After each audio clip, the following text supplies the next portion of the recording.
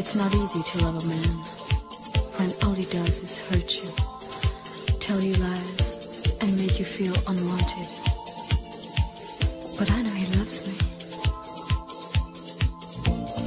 All my friends tell me I'm a fool to love him like I do. They say I should let go and try to find a man I can really depend on. But I love him too much.